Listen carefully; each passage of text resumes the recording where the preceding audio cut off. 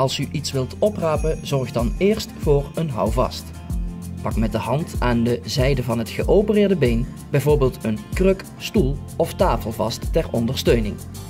Zet de voet van het geopereerde been naar achteren en laat u vervolgens zakken door het niet geopereerde been.